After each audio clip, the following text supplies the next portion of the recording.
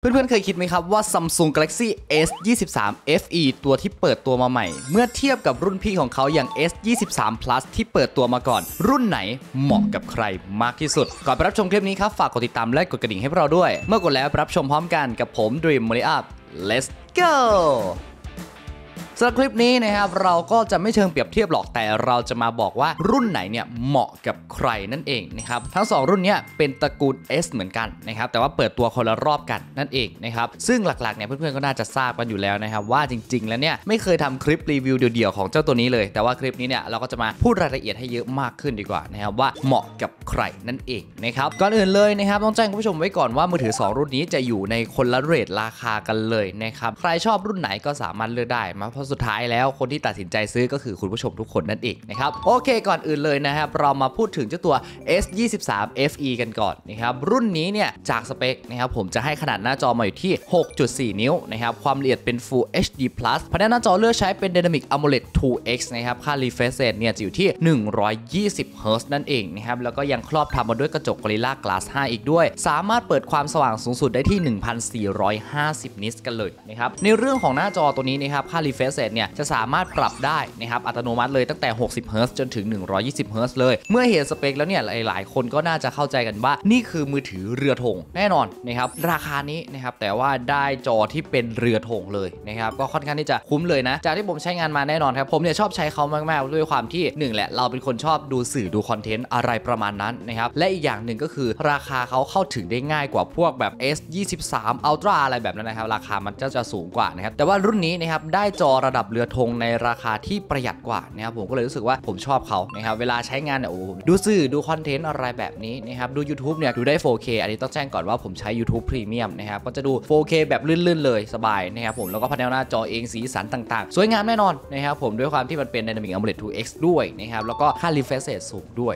นั่นเองนะครับส่วนในเรื่องของความแข็งแกร่งก็มีมาให้อยู่แล้วนะครับเป็นกระจก Gorilla Glass 5 นั่นเองนะครับส่วนเรื่องของลำโพงนะครับตัวนี้ก็จะมาพร้อมกับลำโพงคู่แบบสเตอริโอนะแต่ว่าตัวนี้นะครับจะเป็นการจูนของ Samsung เองนะครับไม่ใช่การจูนแบบ AKG นั่นเองนะครับก็ถือว่าใช้ได้ในระดับหนึ่งนะครับคุณภาพเสียงเนี่ยก็ไม่ได้ขี้ริ้วขี้เหร่ในเลทราคานี้ผมถือว่าเยี่ยมเลย เราใช้ซัมซุงมาสักพักหนึ่งเนี่ยเราจะรู้แหละว่าเบสเสียงของซัมซุงเนี่ยจะรู้สึกว่ามีความนุ่มมีความทุ้มและที่สำคัญนะครับเสียงเบสเสียงกลางเสียงสูงเนี่ยจะค่อนข้างที่จะได้ยินอย่างชัดเจนนะครับผมก็ไม่ได้จะบูบี้อะไรหรอกนะครับแต่ว่ารู้สึกว่าผมว่าแค่นี้เนี่ยลำโพงเขาเนี่ยเทียบชั้นกับรุ่น PS 23 plus ได้เลยนะครับ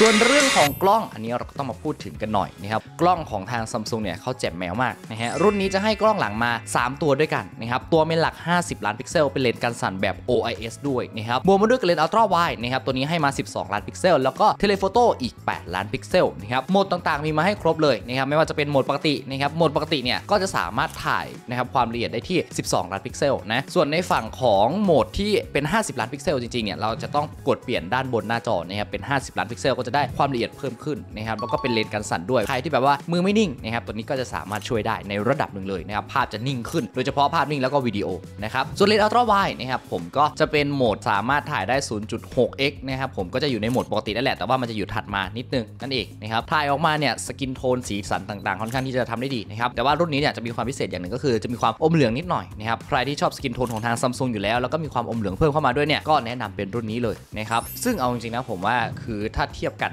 กับเจ้าตัว S23 Plus เนี่ยตัวเนี้ยก็คือกล้องหลังเนี่ยสเปคแทบจะเหมือนกันทุกอย่างเลยนะครับแต่ว่าก็ต้องมาดูเรื่องการใช้งานกันอีกครั้งหนึ่งนะฮะส่วนโหมดบุคคลนะครับก็จะสามารถปรับระดับความเบลอได้ตั้งแต่ระดับ 1 จนถึงระดับ 7 เลยนะครับคุณภาพภาพเนี่ยใช้ได้เลยบางภาพเนี่ยคมมากนะครับถ้าไม่บอกเนี่ยก็ไม่รู้ว่าถ่ายจาก S23 FE นะครับเผื่อๆคิดว่าถ่ายจาก S23 Ultra อะไรประมาณนั้นเลยนะครับส่วนโหมดเทเลนะครับตัวนี้ก็จะสามารถถ่ายได้แบบไม่เสียความละเอียดนะครับได้ที่ 3 เท่านะครับซูมแบบไม่เสียความละเอียดได้ที่ 3 เท่า ส่วนซูมสูงสุดได้ที่30 เท่าเลยนะครับก็เหมาะสำหรับคนที่ชอบไปถ่ายแบบเทเลนะครับอยู่ในระยะที่อยากจะถ่ายเป็นภาพบุคคลด้วยนะครับเพราะว่าตัวนี้เนี่ยมันสามารถถ่ายเป็นภาพบุคคล แล้วก็เป็นเทเลได้ด้วย ก็คือถ่ายคูณ 3 แต่ว่าเป็นละลายหลังนั่นเองนะครับถือว่าเจ๋งมากๆ ในเรื่องของกล้องเนี่ยผมยอมรับเลยนะครับส่วนการถ่ายวิดีโอกล้องหลังเนี่ยโอ้โหตัวนี้เจ๋งนะครับสามารถถ่ายสูงสุดได้ที่ 8K 24 เฟรมเรทโอ้โหโหดจัดจริงๆ ผมว่าถ้าเราก็ไม่ได้ใช้อะไรขนาดนั้นนะครับจริงๆผมว่าถ่ายแค่ 4K 60 เฟรมก็เพียงพอแล้ว แล้วก็เรื่องของความนิ่งของเขาเนี่ยจัดเต็มจริงๆนะครับด้วยความที่มันเป็นกับสั่น OIS ด้วยนะครับ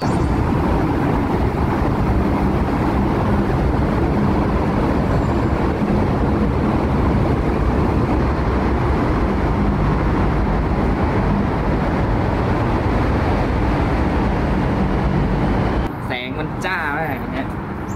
วัดแสงดูเป็นยังไง เรื่องของสีนะครับผมแล้วก็การสั่นเพราะตอนนี้เราเดินอยู่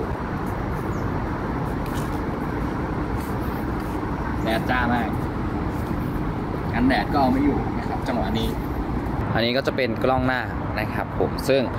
วิดีโอเนี่ยสามารถถ่ายเต็มความละเอียดได้ที่ 4K 60 เฟรมทั้งคู่เลยนะครับเดี๋ยวพาเดินดูนะฮะครับอันนี้มันจะแดงๆหน่อยนะครับเพราะตึกเป็นสีแดง โดนแดดแหละสวาบ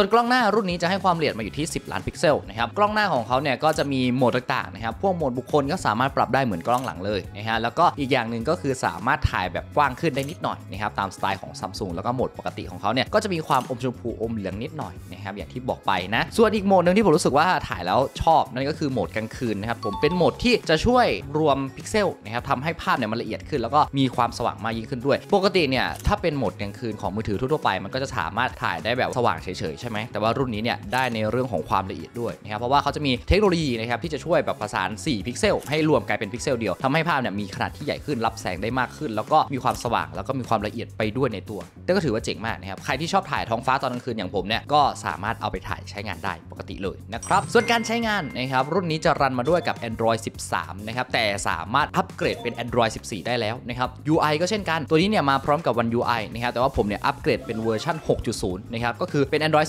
14 แล้วก็ OS เนี่ยเป็น One UI เวอร์ชัน6.0 นะครับ ล่าสุดเลยเฟี้ยวๆนะครับบอกได้เลยว่า UI ตัวนี้เจ๋งมาก สามารถปรับแต่ง custom อะไรได้ตามใจเรามาก ๆ เลยนะครับ ส่วนชิปเซตนะครับ Exynos 2200 นะครับ รองรับเครือข่าย 5G เป็นสถาปัตยกรรม 4 นาโนเมตรนั่นเองนะครับ การใช้งานเป็นยังไงบ้างนะครับถ้าเกิดว่าเป็นการใช้งานพวกแบบ 5G อะไรต่างๆเนี่ยไว้ใจได้นะครับปลอดภัยหายห่วงการใช้งานทั่วๆไปสื่อโซเชียลลื่นๆสบายๆนะครับส่วนการเล่นเกมผมไปลองเล่นมา 2 เกมนะครับขำๆนะเรื่องของเกม PUBG ตัวนี้นะครับจะสามารถปรับความละเอียดเป็น HDR HD นะครับแล้วก็ frame rate นะครับจะปรับเป็น Ultra นั่นเองนะครับส่วนเกม Genshin นะครับก็ไปลองเล่นมาเหมือนกันนะครับมันปรับอัตโนมัติให้อยู่ในระดับต่ำนะครับแล้วก็ frame rate เป็น 30 เฟรมนะถ้าเกิดว่าปรับตามที่ผมบอกไปเนี่ยเล่นได้ลื่นทั้ง 2 เกมเลยนะครับชิวๆสบายๆและอีกอย่างหนึ่งก็คือการจัดการความร้อนดีมากๆนะครับเพราะว่าตัวนี้เนี่ยมีระบบระบายความร้อนเป็น Vapor Chamber นะครับที่ใหญ่กว่าเจ้าตัว S23 Plus ตัวนี้นะครับถึง 1.5 เท่า ก็จะจัดการความร้อนได้ดีกว่าในระดับหนึ่งนะครับแต่ถามว่ามันเห็นชัดเจนขนาดนั้นไหมถ้าเกิดว่าไม่เอามือมาจับดูจริงๆมันก็แทบจะไม่ต่างกันสักเท่าไหร่นะครับถือว่ามี Vapor Chamber ที่ใหญ่ขึ้นก็ถือว่าช่วยระบายความร้อนได้ในระดับหนึ่งเลยนะครับส่วนเรื่องของแบตเตอรี่นะครับตัวนี้เนี่ยจะให้ความจุมา 4,500 มิลลิแอมนะครับพร้อมกับรองรับชาร์จเร็ว 25 วัตต์นั่นเองก็ถือว่าอยู่ในเกณฑ์ standard นะครับผมว่าก็ใช้ได้นะครับสามารถอยู่ครบได้ทั้งวันแน่นอนสำหรับ 4,500 มิลลิแอมเพราะว่า Exynos เองเนี่ยไม่ได้กินพลังงานขนาดนั้นนะครับถึงแม้เขาจะเป็นชิปเซตที่แบบว่าดูแรงมากขนาดนั้นแต่อย่าลืมนะครับเขาเป็นสถาปัตยกรรม4นาโนเมตรเทียบได้กับพวกระดับเรือธงเลยนะครับและอีกอย่างหนึ่งคือเขากันน้ำด้วยนะครับที่ P68 กันน้ำลึก 1.5 เมตร เป็นเวลา 30 นาทีเลยนะครับ โอเค เรามาพูดถึง S23 Plus กันบ้างดีกว่านะครับ ด้วยความที่มันเป็นรุ่นพี่ที่เปิดตัวมาสักพักหนึ่งแล้วนะครับ แต่ว่าสเปคเนี่ย คุณผู้ชมสามารถไปเปิดเทียบกันได้นะครับว่า เฮ้ย สเปคมันคล้ายกันตรงไหนต่างกันตรงไหนนะครับอะพูดถึงหน้าจอก่อนนะครับ ตัวนี้ให้ขนาดหน้าจอมา 6.6 นิ้วนะครับ ความละเอียดเป็น Full HD Plus ภายในหน้าจอ Dynamic AMOLED 2X แล้วก็ค่า refresh rate 120 Hz คุ้นไหมครับคุ้นมาก เพราะว่าเจ้าตัวนี้นะครับเจ้าตัว S23 Plus กับ S23 FE หน้าจอแทบจะเหมือนกันทุกประการต่างกันนิดเดียวนะครับก็จะเป็นในเรื่องของขนาดหน้าจอนั่นเองนะครับแล้วก็กระจกที่เลือกใช้ด้วยนะครับเพราะว่าตัวนี้เนี่ยจะให้กระจกมาเป็น Gorilla Glass Victus เวอร์ชัน2ด้วยนะครับแล้วก็อีกอย่างหนึ่งค่าความสว่างหน้าจอตัวนี้จะอยู่ที่ 1750 นิตเอาง่ายๆนะครับคือ 2 รุ่นนี้จอมันแทบจะเหมือนกันทุกประการเลย ต่างกันที่ขนาดแล้วก็ในเรื่องของความสว่างเท่านั้นเอง ส่วนตัวเนี่ยผมว่าคือถ้าเอาไม่เอามาเทียบกันจริงๆนะครับแยกไม่ออกเลยอย่าลืมนะครับว่า 2 รุ่นนี้ราคาต่างกัน แต่ว่าในเรื่องของจอเนี่ยได้ขนาดนี้นะครับผมบอกได้เลยว่าคุ้มมากสำหรับ S23 FE นะครับส่วนในเรื่องของกล้องนะครับผมคุณผู้ชมตั้งใจฟังสเปคดีๆนะครับตัวนี้ให้กล้องหลังมา 3 ตัวนะครับตัว main หลัก 50 ล้านพิกเซลกันสั่น OIS บวกมาด้วยกับเลนส์ Ultra Wide 12 ล้านพิกเซล ส่วนเลนส์ telephoto นะครับรุ่นนี้จะให้มาที่ 10 ล้านพิกเซลนะครับก็จะแตกต่างกันเล็กน้อยนะฮะผมเนี่ยลองไปถ่ายรูปกันมาแบบเหมือนเทียบๆกันดูแล้วว่ามันต่างหรือเหมือนกันยังไงนะครับผมในฝั่งของ S23 Plus ตัวนี้นะครับจะได้ในเรื่องของความคมในเรื่องของเงาอะไรต่างๆเนี่ยเขาจะทำได้ดีมากๆนะครับส่วน S23 FE ตัวนี้ก็ทำได้ใกล้เคียงมากๆเช่นเดียวกัน แต่ว่าจะมีความอมเหลืองนิดหน่อยนะครับอันนี้พูดในเรื่องของเลนส์หลักนะครับที่เป็น 50 ล้านพิกเซลในโหมด 50 ล้านพิกเซลเลยนะครับตัว S23 FE ตัวนี้จะมีความอมเหลืองกว่านิดหน่อยนะครับแต่ว่าโดยรวมๆเนี่ยผมว่าโอ้โหเทียบเคียงได้สบายเลยนะส่วนเลนส์ Ultra Wide อันนี้แบบโอ้โหเนี้ยบมากนะครับเพราะว่าทั้งคู่เนี่ยทำได้ใกล้เคียงกันมากๆนะครับก็คือในเรื่องของความกว้างนะครับ S23 Plus เนี่ยอาจจะกว้างกว่านิดหน่อยนะครับแต่ว่าในเรื่องของ skin tone สีสันอะไรต่างๆเนี่ยผมว่าทำได้ค่อนข้างที่จะใกล้เคียงกันมากๆนะครับในเรื่องของโหมด Ultra Wide นะครับส่วนโหมดบุคคลอู้อันนี้แล้วแต่ช็อตเลยนะครับเพราะว่าทั้งคู่เนี่ยมันสามารถปรับระดับนะครับความเบลอได้ตั้งแต่ระดับ 1 จนถึงระดับ 7 เหมือนกันทั้งคู่เลยนะส่วนเรื่องของการเบลอละลายหลังหน้าชัดหลังละลายอะไรต่างๆเนี่ยทำได้เหมือนกันนะครับเอาง่ายๆ S23 FE ทำได้ทุกอย่างที่ S23 Plus ทำได้นะครับแล้วก็คุณภาพเนี่ยแทบจะไม่ต่างกันเลยนะส่วนการถ่ายโหมดพวกคูณ3นะครับตัวนี้ก็สามารถถ่ายได้ tele นะครับไม่เสียความละเอียดได้ที่ 3 เท่านะครับแล้วก็ซูมดิจิตอล30 เท่านะครับแต่ว่าเราก็ต้องมาเทียบกันจริงๆนะครับเรื่องของกล้องเนี่ยอันจริงในฝั่งของ S23 Plus เนี่ยเขาจะได้ได้เปรียบในเรื่องของสีสันที่คมกว่าสดกว่า แล้วก็อาจจะมีแบบเงามาได้แต่ก็อย่าลืมนะครับว่าราคาเขาต่างกัน ดังนั้นความคุ้มค่าเนี่ยผมเทใจไปให้ในฝั่งของ S23 FE มากกว่านะครับด้วยความที่แบบเฮ้ยราคาแค่นี้เทียบชั้นกับรุ่นพี่อย่าง S23 Plus ได้เลยนะครับพูดถึง S23 Plus กันต่อนะครับตัวนี้นะครับจะรันมาด้วยกับ Android 13 สามารถอัปเกรดเป็น Android 14 ได้นะครับแล้วก็ UI จะอัปเกรดเป็น One UI เวอร์ชัน6.0 ก็คือเอาง่ายๆเหมือนกันเลยนะครับเหมือนกันกับตัว S23 FE เลยนะครับในเรื่องของ Android นะครับเวอร์ชัน Android แล้วก็เวอร์ชัน UI นะครับส่วนชิปเซตตัวนี้เลือกใช้เป็น Snapdragon 8 Gen 2อ่าตัวนี้จะรองรับเครือข่าย 5G แล้วก็สถาปัตยกรรม 4 นาโนเมตรนั่นเองนะครับต่างกันตรงนี้นะครับชิปเซตต่างกันด้วยความที่โอ้ก็ให้เขาต่างหน่อยเถอะราคาเขาต่างกันขนาดนี้นะครับผมในฝั่งของ S23 Plus นะครับจากที่ผมไปใช้งานมาใช้งาน 5G เนี่ยลื่นๆอยู่แล้วสบายๆนะครับตามสไตล์แบบ Snapdragon 8 Gen 2นะครับส่วนเรื่องของการเล่นเกมเนี่ยตัวนี้ผมก็ไปเล่นมาทั้ง PUBG แล้วก็ Genshin 2เกมเหมือนกันนะครับไปเล่น PUBG ตัวนี้โอ้โหปรับได้เยอะมากนะครับสามารถปรับเป็นกราฟิก Ultra ก็ได้ หรือว่าจะเป็น frame rate Ultra นะครับหรือถ้าเกิดว่าใครอยากได้ frame rate สูงสุด ก็ปรับกราฟิกเป็นระดับ HDR HD ก็ได้นะครับส่วนในเรื่องของเกม Genshin นะครับตัวนี้จะสามารถปรับกราฟิกเป็นระดับกลางนะครับ frame rate เป็นระดับ 30 frame rate นะครับจากที่เล่นมานะครับปรับตามนี้นะครับเป๊ะๆเลยลื่นมากนะครับผมก็แน่นอนแหละ Snap 8 Gen 2นะต้นทุนเขาก็จะเยอะกว่านะครับดังนั้นเรื่องของความเร็วความแรงเนี่ย S23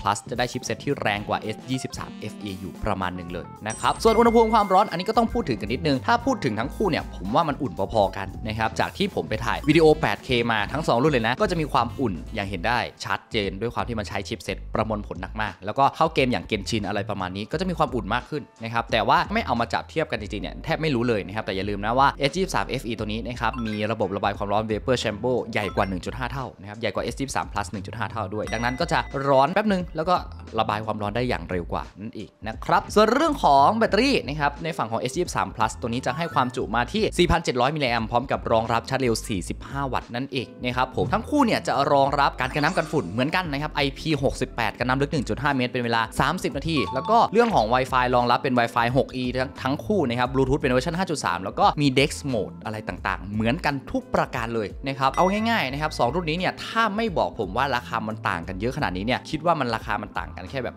3-4พันอะไรแบบเนี้ย แต่จริงๆ ไม่ใช่นะครับ ราคาต่างกันอยู่ประมาณนึงเลย ซึ่งความคุ้มค่าอย่างเงี้ย มันแล้วแต่เรานะครับ ถ้าเกิดว่าเราต้องการที่จะใช้งานแบบมือถือสเปคแบบเอาชิปเซ็ตแรงๆเลยนะครับผม เอาแบบกล้องคมๆนะครับผม แล้วก็ แล้วก็ที่สำคัญเลยนะครับ ในเรื่องของการดีไซน์เนี่ยการใช้ชิปเซตตัวที่แรงที่สุดนะครับรุ่นพี่อย่าง S23 Plus เนี่ยก็จะเป็นอีกหนึ่งทางเลือกที่ได้เปรียบกว่านั่นเองนะฮะแต่ถ้าเกิดว่าใครนะครับมองว่าอยากจะได้มือถือที่คุ้มค่าคุ้มราคานะครับกล้องเนี่ยขอแบบเบียดเบียดรุ่นพี่เลย จอนี่ขอเบียดเบียดรุ่นพี่เลย S23 FE ตัวนี้ก็เป็นอีกหนึ่งทางเลือกที่น่าสนใจ แต่ถ้าเกิดว่าคุณผู้ชมนะครับอยากมีในใจนะครับอยากได้มือถือแบบตัวจบเลย งบไม่จำกัดผมแนะนำนะครับ S23 Ultra 5G ครับตัวนี้จบจริงนะครับผมจากที่ผมเคยใช้มานะเออใครที่ยังไม่ได้ดูก็สามารถย้อนกลับไปดูได้นะครับเป็นตัวจบนะครับมี S Pen ด้วยนะครับผมชิปแรงนะครับกล้องสวยนะครับเพราะตัวนั้นเนี่ย200 ล้านพิกเซลเลยนะครับผมแต่ก็อย่างว่านะครับเขาเป็นตัวที่อาจจะต้องใช้งบในระดับหนึ่งนะครับแต่เรามาพูดถึง 2 ตัวนี้ต่อกันดีกว่านะครับความคุ้มค่าของ S23 FE เนี่ยก็จะเห็นได้ชัดในเรื่องของจอนะครับเพราะว่าจอเนี่ยเหมือนกันเลย ในเรื่องของกล้อง เพราะว่าสเปคกล้องเหมือนกันทุกประการเลยนะครับดังนั้นใครที่อยากจะได้มือถือในราคาที่คุ้ม แต่ว่าอยากได้แบบว่าสเปคกล้องเบียดเบียดรุ่นพี่เนี่ยก็ S23 Plus เลยนะโอเค เรามาพูดถึงราคากันบ้างดีกว่าหลายๆ คนอาจจะมองว่าราคา 2 ตัวนี้มันจะต่างกันสักเท่าไหร่นะครับเริ่มจาก S23 Plus ก่อนแล้วกันนะครับตัวนี้เนี่ยให้ความจุมาเป็น RAM 8 g b นะครับ storage จะเป็น 256 นี่เป็นความจุเริ่มต้นนะ ราคานะครับจะอยู่ที่ 36,900 บาทนะครับผมก็แน่นอนนะผมเป็นระดับเรือธงก็ราคา 30,000 อัพอยู่แล้วนะฮะส่วนในฝั่ง S23 FE ตัวนี้นะครับผมจะเป็นความจุที่ RAM 8 g b นะครับ storage จะเป็น 128 เป็นรุ่นเริ่มต้นนะราคาเปิดมาที่ 22,900 บาทผู้ชมครับ2รุ่นนี้ราคาต่างกัน4,000 บาทนะครับ โดยประมาณนะ ซึ่งจะเห็นได้ชัดว่า S23 FE มันคุ้มขนาดคล้ายกับตัวรุ่นพี่เลยนะครับ โดยเฉพาะในเรื่องของกล้องเนี่ย ใครที่อยากจะได้แบบว่ามือถือที่คุ้มจริงๆนะครับในเรทราคาที่สามารถสู้ไหวนะครับผมก็แนะนำเป็น S23 FE แต่ถ้าเกิดว่าใครรู้สึกว่าอยากจะได้แบบความคมที่มากขึ้นชิปเซ็ตที่แรงกว่าอะไรแบบนี้ ผมก็จะแนะนำเป็น S23 Plus แต่ถ้าเกิดว่าใครอยากจะได้เป็นตัวจบก็อย่างที่บอกไปนะครับ S23 Ultra เลยนะครับ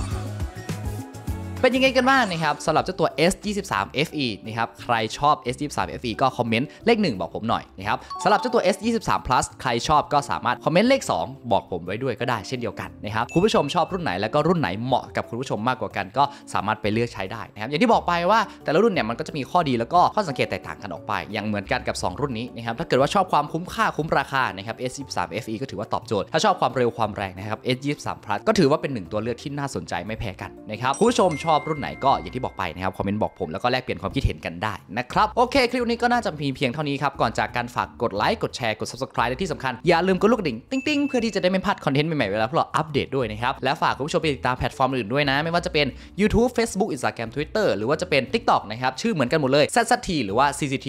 Six Sister นั่นเองนะครับคลิปนี้ก็น่าจะมีเพียงเท่านี้ครับผมดรีมโมเลียก็ต้องขอตัวลาคุณผู้ชมไปก่อนแล้วเจอกันคลิปหน้า See you again ทุกคนละก่อย